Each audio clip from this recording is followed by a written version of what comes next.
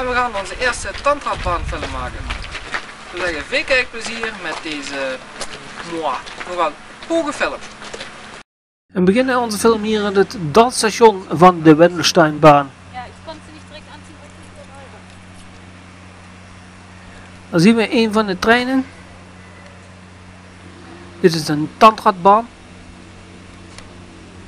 Deze treinstellen zijn gebouwd bij SLM in Winterthur in Zwitserland. Zo functioneert het tandraadsysteem. En hier zien we de prijzen die gevraagd werden om een keer de berg op te gaan. Vanuit Brandenburg, waar we hier nu zijn. Behoorlijke belangstelling. Hier kon nog wat gedronken en gegeten worden.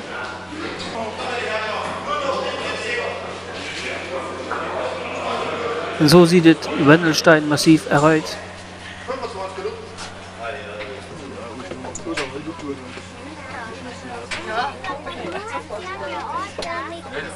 Hier zijn we inmiddels gevorderd tot de station Mieteralm, 1200 meter hoogte. En we klimmen steeds verder. Richting de 2 kilometer, richting het bergstation van de Wendelstein.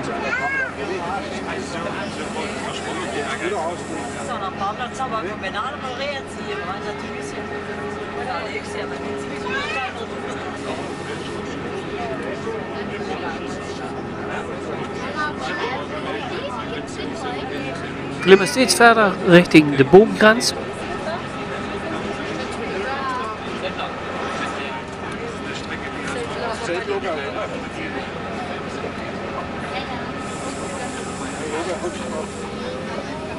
Twee boerderijen.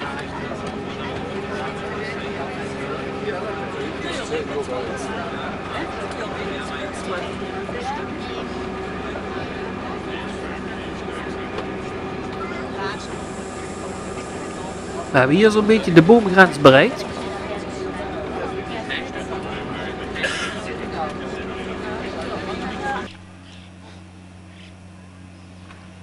En hier komt de trein uit een lawinegalerij tevoorschijn.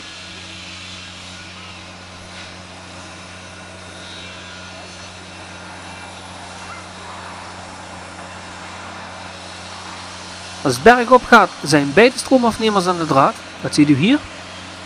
Nu gaat de trein deze tunnel in. Hij maakt dan nog een scherpe bocht naar rechts. En komt dan in het bergstation uit. En dat is hier.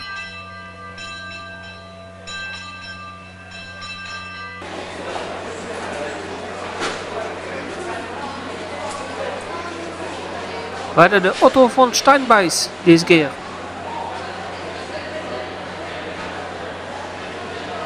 En dan gaat het meteen bergaf richting het dal.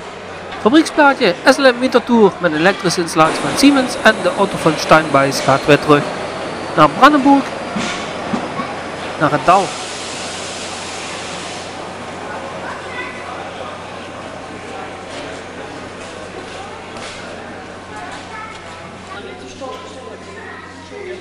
Om vijf voor het hele uur ging er een trein richting het dal en dit is een kijkje bovenaf, vanaf de top.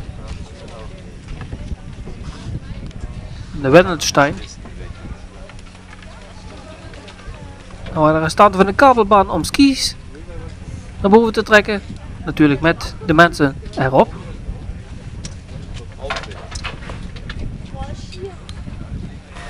Nou, nog een keer de lawinegalerij. Daar zien we de in, die lichtgrijze streep.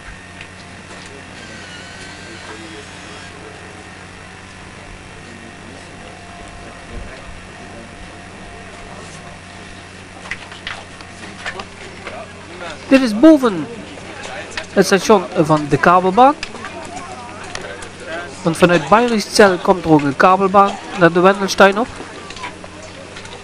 Daar was het restaurant en hier een plaat met wat informatie over de hoogte. En dat je nog een keer een stuk naar de top kunt wandelen in circa 45 minuten ben je er. Als je het langzaamaan doet natuurlijk. Kijk je naar beneden, langs de kabel van de kabelbaan. En daar beneden is het stationnetje van Bayerischzell. Hier komt de kabelbaan.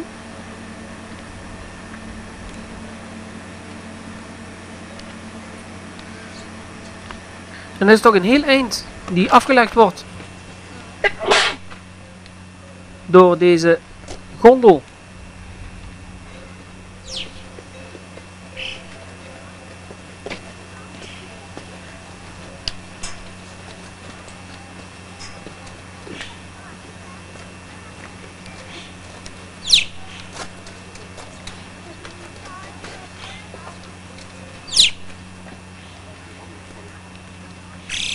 En hier is de gondel boven.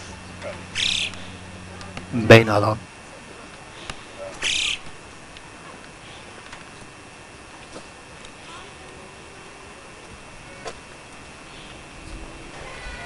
Een korte stop gaat het weer richting het dal. En dat gaat met een behoorlijke snelheid.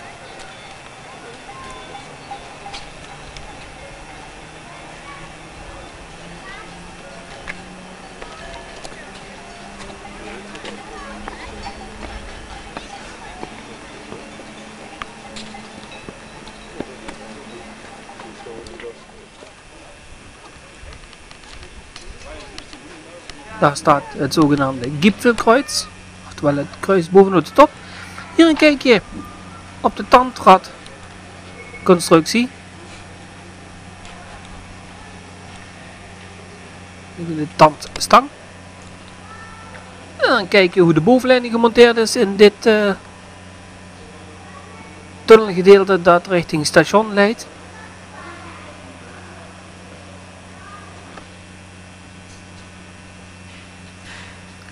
Je ziet dat er een aardig hoogteverschil te overwinnen is. En dan komt de trein. Vanuit het bergstation.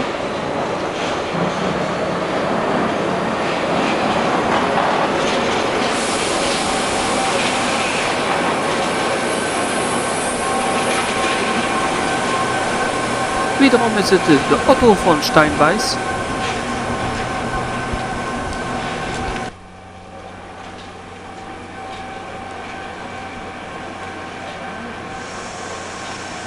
Nu het richting het dal gaat, is er maar nog één stroomafnemer tegen de draad.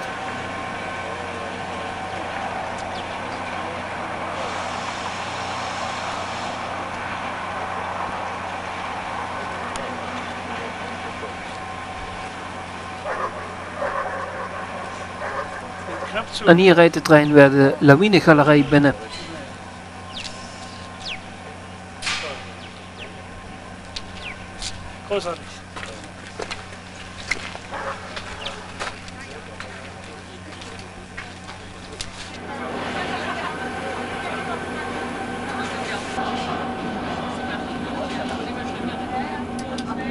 Een mooie kijk op het landschap vanuit het treinstel. Daarboven is het bergstation. Je ziet dat je in een korte tijd aardig wat kilometers daalt. Wat zeg ik, kilometers? Meters natuurlijk.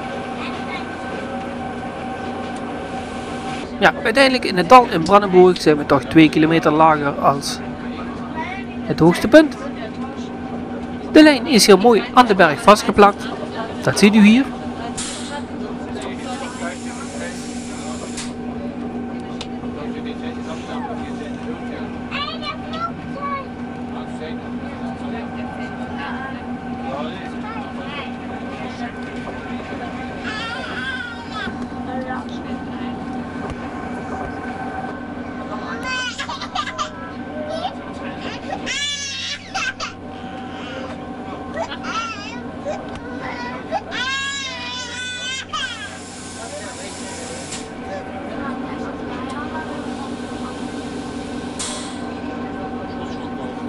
Als je een beetje last hebt van hoogtevrees, dan moet je niet meteen recht naar beneden het dal kijken, maar gewoon even in de verte.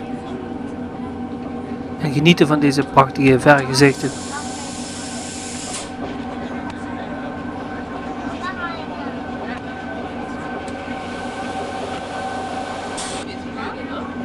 Hier beginnen de bomen weer te komen.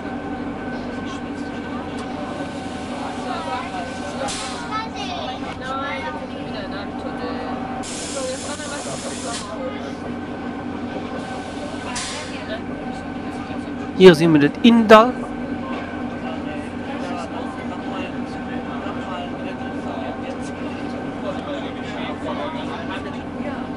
Via de in, waar de stad Innsbruck haar naam aan. De wandelpaden vanaf de top richting het dal.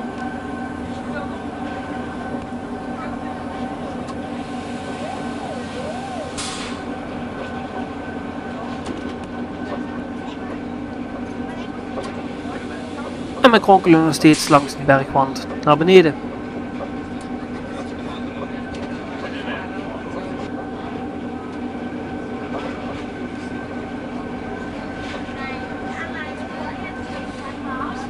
Station Mieteralm op 1200 meter hoogte.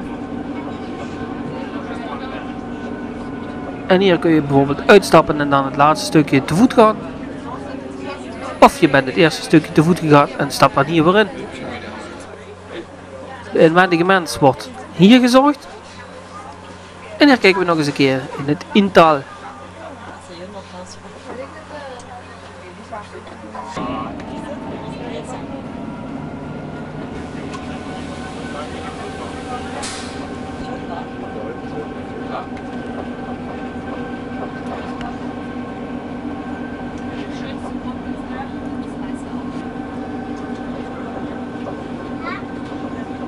Deze bovenleidingsmasten zijn houten palen die als eh, het weer het noodzakelijk maakt bij heftige sneeuwval bijvoorbeeld, als er lawinegevaar is, kan de bovenleiding snel gedemonteerd worden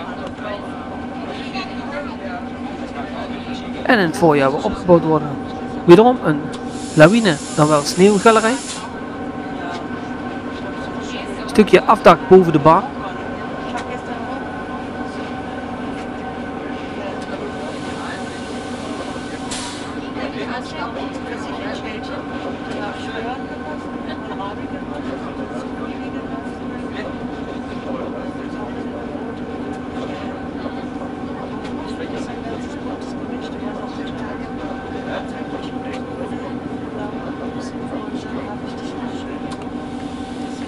De Wellensteinbaan rijdt op 1500 volt gelijkstroom.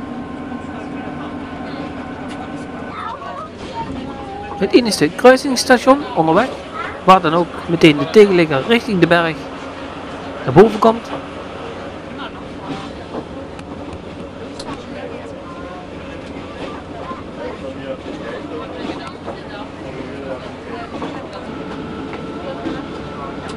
En hier ziet u ook een andere constructie van de bovenleidingsmasten. Hier zijn het stalen masten. In het Duits noemt men die gittermasten.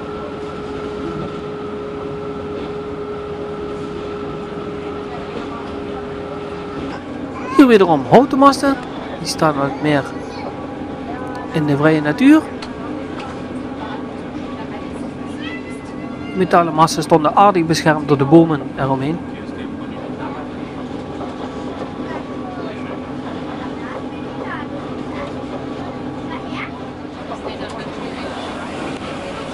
Aan de rechterkant gaat het richting de werkplaats van de Bennensteinbaan.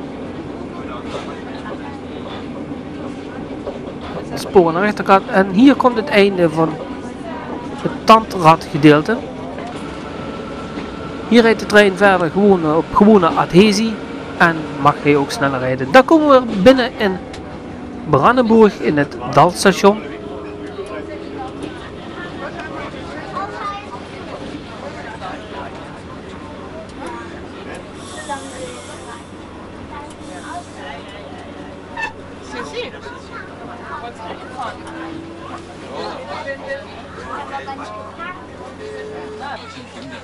De cabine van de prinsregent Luitpold. Met deze trein waren we naar beneden gekomen. En als we deze trein nog eens even goed bekijken, dan naderen wij zo langzamerhand het einde van deze aflevering van Eurorails. Bedankt voor het kijken en graag tot ziens tot de volgende aflevering van Eurorails.